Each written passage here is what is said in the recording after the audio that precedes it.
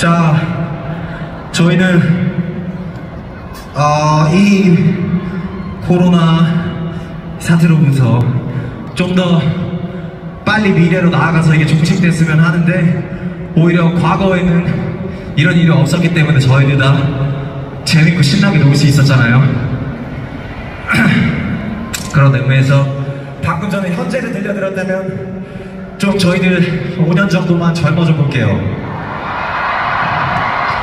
5년 전이면 2017년 2017